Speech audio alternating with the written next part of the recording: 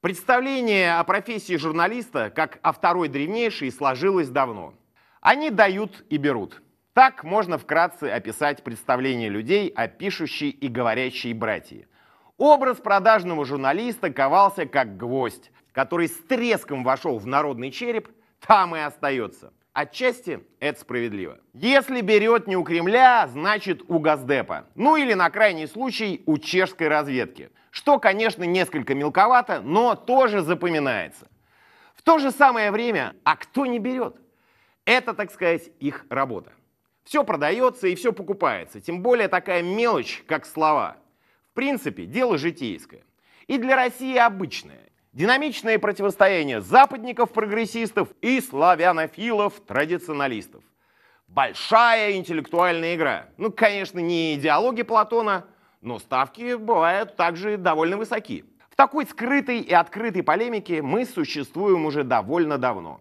Иногда споры и статьи доходят до реальных посадок, что мы и наблюдаем сегодня. А виной тому, как ни странно, большие звезды так называемой кремлевской журналистики.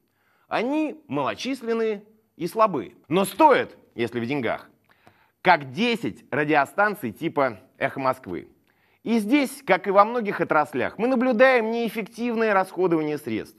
Что Соловьев, Прилепин и Киселев против одного Навального?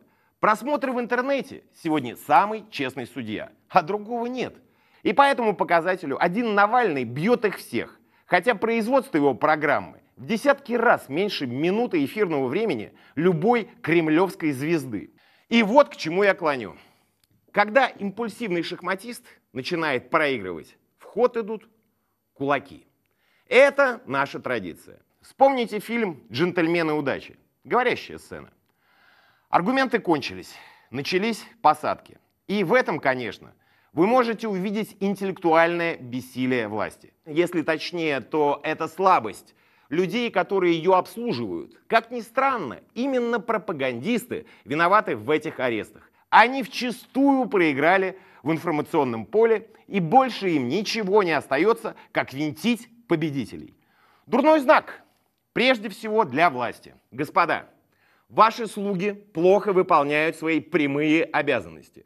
Мало того, что они молятся чужим богам, вкладывая свои сбережения в инославную недвижимость, они вяло симулируют патриотический оргазм. Ваши порнозвезды стары и непривлекательны. Как говорится, сосуд без души. А если у народа на них не встает, то начинаются преследования сексапильных. И народный ут от ударов по яйцам сморщился до вялого голосования, которое пришлось стимулировать немыслимыми способами.